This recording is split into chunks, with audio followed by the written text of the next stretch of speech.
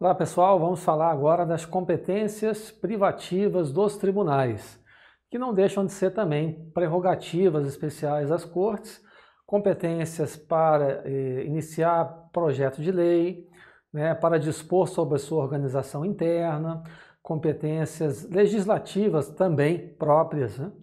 Então vamos ver que também o, Supremo Tribunal Federal tem se debruçado sobre alguns incisos deste artigo 96, e as bancas gostam de cobrar tanto a literalidade da Constituição quanto também o entendimento do STF sobre esses dispositivos. Okay? Então vamos lá. Primeiro inciso que a gente deve é, estudar aqui, o artigo 96, inciso 1.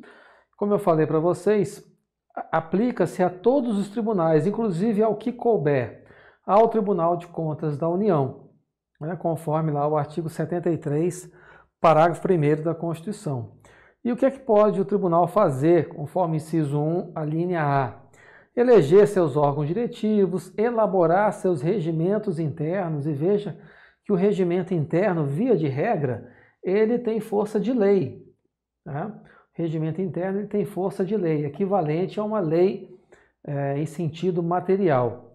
Não em sentido formal, mas em sentido material com observância das normas de processo das garantias processuais das partes, dispondo sobre a competência e o funcionamento dos respectivos órgãos jurisdicionais e administrativos. Então, vamos entender aqui a interpretação de texto. Né? Compete ao tribunal eleger seus órgãos diretivos elaborar seus regimentos. Os regimentos devem observar as normas de processo e as garantias processuais das partes. E os regimentos também devem dispor sobre a competência e o funcionamento dos respectivos órgãos jurisdicionais e administrativos. Essa foi, inclusive, a interpretação correta dada pelo Supremo para afirmar que quem deve tratar sobre a competência e o funcionamento dos órgãos jurisdicionais, ou seja, aqueles órgãos que decidem judicialmente e os órgãos administrativos, né, que são os órgãos, por exemplo, corregedoria, é, departamento de licitações e contratações, departamento de pessoal, quem deve dispor sobre isso é o regimento interno e não a lei.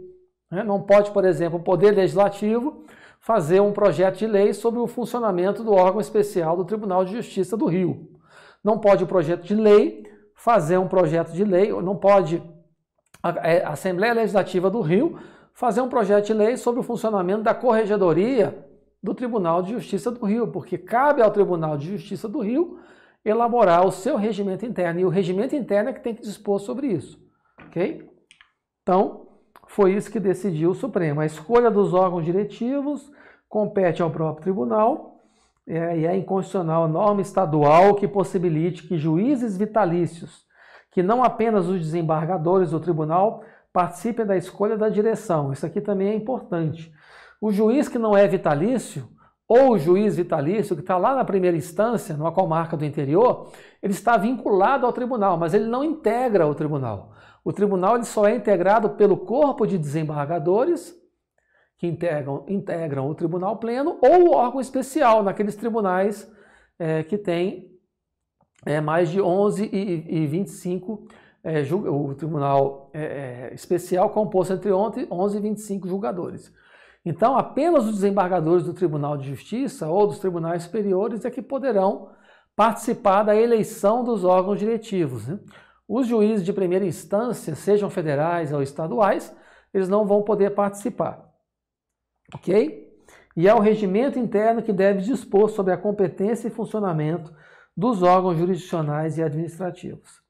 Também compete privativamente aos tribunais organizar suas secretarias e serviços auxiliares, prover na forma da Constituição os cargos de juiz de carreira, como assim na forma da Constituição? Participação da OAB, não é? Prova de, de, de pro, é, é, concurso de provas e títulos, tudo aquilo previsto lá no artigo 93.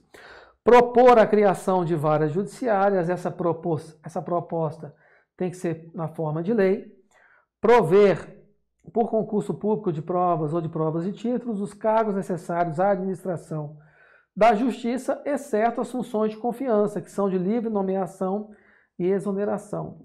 Conceder férias, licenças e outros afastamentos aos seus membros e juízes. Veja aqui, membros dos tribunais, juízes a ele vinculados, e dos servidores que lhes forem imediatamente vinculados. Então, o Supremo assentou que é inconstitucional aumentar o número de desembargadores sem proposta do Tribunal de Justiça, ok?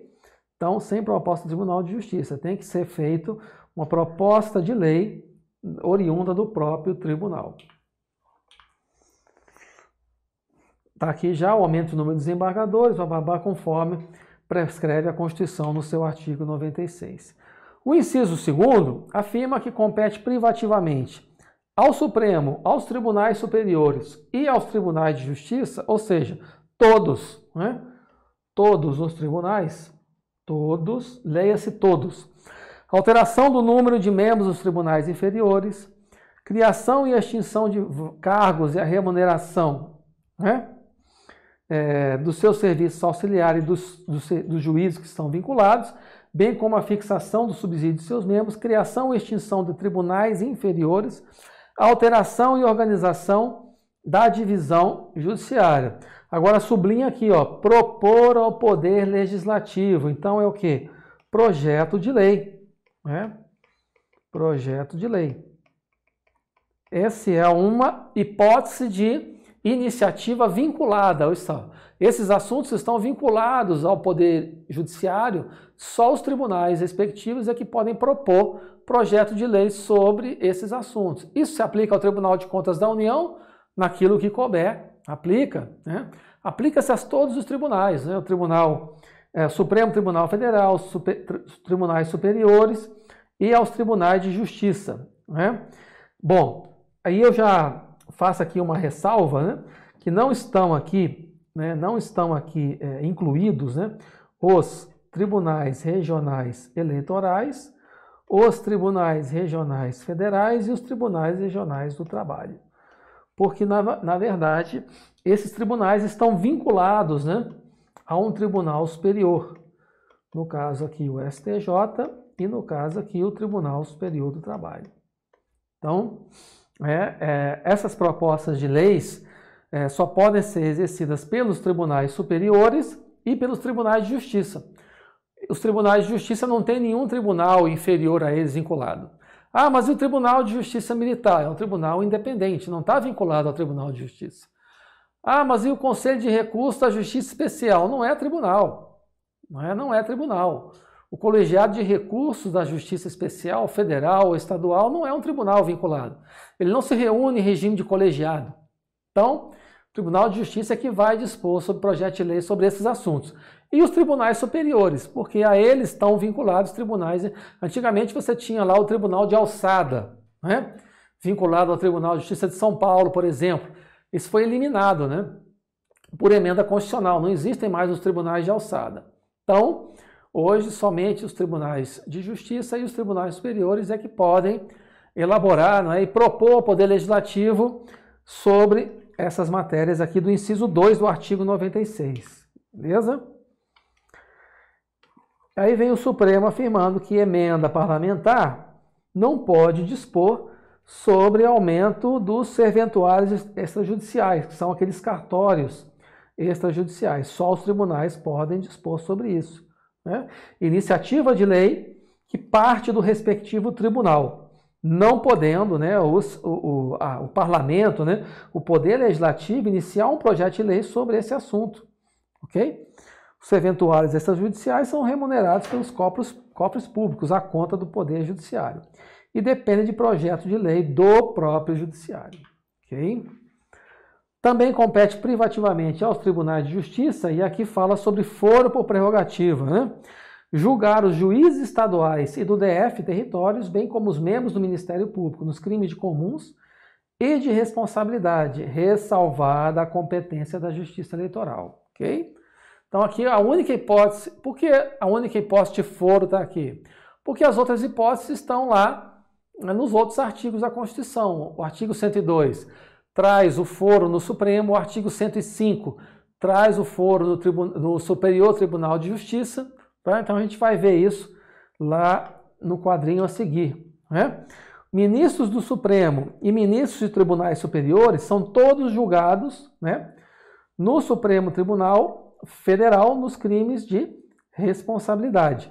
Os ministros de tribunais superiores né, são julgados né, do, nos crimes de responsabilidade, ou perdão, os ministros do STF são julgados nos crimes de responsabilidade pelo Senado.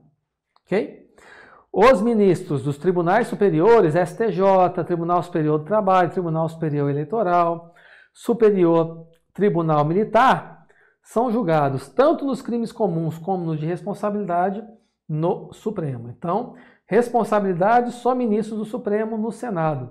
Artigo 52, inciso 2 E os demais, o artigo 102, inciso 1 a linha B e C. Né? Compete ao Supremo Tribunal Federal, principalmente, cabendo-lhe processar e julgar originariamente nas infrações penais e comuns e nos crimes de responsabilidade, né, os membros dos tribunais superiores, incluídos os ministros do Tribunal de Contas da União, ministros de Estado, e aí vai, ok? Bom, também fala dos desembargadores, né? desembargadores do TJ, do Tribunal Regional Federal, Tribunal Regional Eleitoral e Tribunal Regional do Trabalho, também julgados nos, de crimes comuns e de responsabilidades no STJ, ok? Bom, juízes federais da Justiça Militar e do Trabalho, né? E aí a gente está falando de primeira instância, quando fala juiz, nos crimes comuns e de responsabilidade são julgados no TRF, por força do artigo 108, 1A. Né? Então, compete aos tribunais regionais federais processar e julgar originariamente os juízes federais da sua área de jurisdição, incluídos da Justiça Militar, e da Justiça do Trabalho, nos crimes comuns e de responsabilidade. E compete aos tribunais de justiça e do DF territórios julgar né, os crimes comuns de responsabilidade, né, conforme o artigo 96, inciso 3, que nós acabamos de estudar. Então, a Constituição, em cada um desses artigos, estabelece o foro privilegiado para todos os magistrados. Né? dependendo né, da sua origem, né, do assunto e da, ao tribunal a que ele estiver vinculado. Quer dizer que o crime ele vai ser julgado inicialmente nesses tribunais, não vai para a primeira instância. Lembrando que, uma vez aposentado, o juiz perde esse foro. E se o processo estiver em andamento, os autos devem ser transladados para o juiz de primeira instância, federal ou estadual, conforme o tribunal a que estava vinculado o magistrado. Ok? Tá aqui, ó. Não se, não se estende aos inativos o foro especial por prerrogativa de função. Já estudamos isso aqui. Vamos então, como sempre, fazer mais alguns exercícios. Pegar esse aqui da FEPES, da Procuradoria Geral do Estado de Santa Catarina. Aos tribunais de justiça é vedado propor ao legislativo alteração de membros de tribunais inferiores. Errado, né? Pode o Tribunal de Justiça propor ao legislativo alteração dos membros dos tribunais inferiores. Né? Se tiver algum tribunal vinculado. Hoje não existe porque os tribunais de alçada é, foram extintos. Ah, Jean, e, e, o, e o Tribunal é, da Justiça Desportiva? Tribunal da Justiça Desportiva, que julga os fatos ligados ao esporte, ele não é um, ele não está vinculado ao poder judiciário, ele é um tribunal administrativo. Inclusive, para você entrar na justiça, então se for entrar no tapetão lá, Flamengo quer contestar a derrota que sofreu para o São Paulo por 4 a 1. Tá, tudo bem, pode até contestar isso aí, mas ele tem que entrar lá no Tribunal de Justiça Desportiva antes de ir no Poder Judiciário. Trata-se de uma hipótese de justiça condicionada. Antes de ir ao Poder Judiciário, você precisa passar pelo Tribunal de Justiça Desportiva, mas não é uma instância judicial, ok? Então, errado aos tribunais de justiça, é vedado propor ao legislativo, pode propor alteração do mesmo tribunais inferiores, caso exista, né? Atualmente isso não existe. Procurador do Trabalho, 2017. Inclui-se nas competências privativas dos tribunais eleger os seus órgãos diretivos, elaborar seus regimentos internos com a elaboração das normas de processo, blá blá blá. Na interpretação do Supremo, a escolha dos órgãos diretivos dos tribunais compete exclusivamente aos seus magistrados, excluindo-se o juiz de primeiro grau, ainda que vitalícios, é o que nós falamos ali, certinho, né? O Supremo Tribunal entendeu que a eleição dos órgãos diretivos do tribunal, diretor-geral, corregedor, presidente e vice-presidente, compete apenas ao colegiado do tribunal. Os juízes de primeira instância vinculados não participam dessa eleição, ok? Foi o que o Tribunal Supremo decidiu. Agente penitenciário FCC 2018 compete privativamente ao chefe do executivo conceder licença, férias e outros afastamentos aos juízes e servidores que lhes forem imediatamente vinculados. Primeiro, não existe juiz vinculado ao executivo. Segundo, princípio da separação de poderes, né, gente?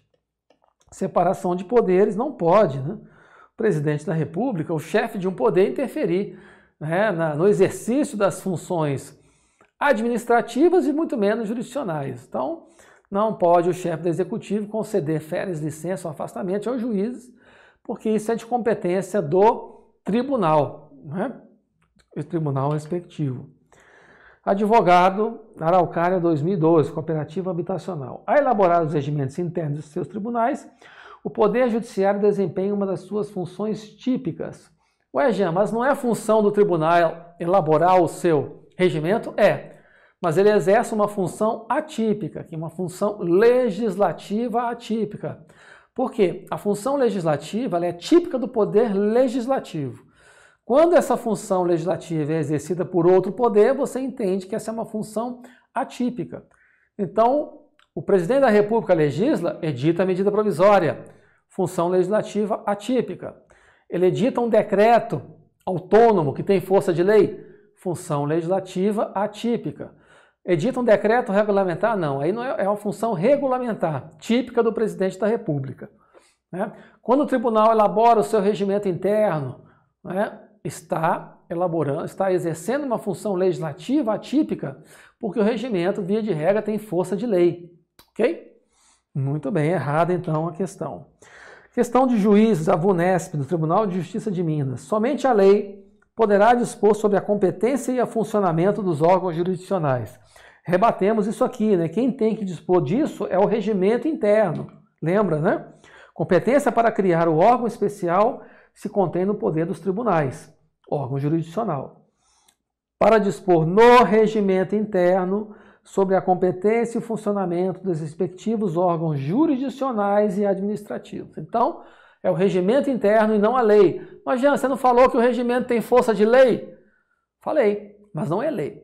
Ele é lei em sentido material, mas não é lei em sentido formal, editada pelo parlamento. Essa é a grande diferença, ok?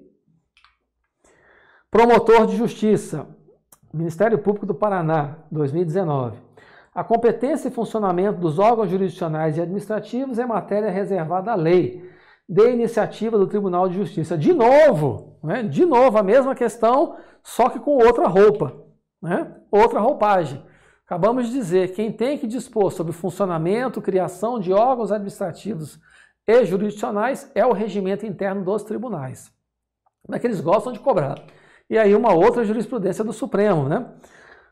Com o advento da Constituição de 88, delimitou-se o campo de regulamentação das leis e o dos regimentos internos, cabendo a estes últimos, com respeito à reserva de lei, a edição de normas de natureza processual, bem como as garantias processuais das partes, dispondo sobre a competência e o funcionamento dos órgãos jurisdicionais e administrativos. Cuidado que isso vai, com certeza, cair na sua provinha, ok? Muito bem. Próximo bloco, nós vamos conversar sobre a cláusula de reserva de plenário, um assunto muito importante que não cai na sua prova, despenca, ok? Até lá.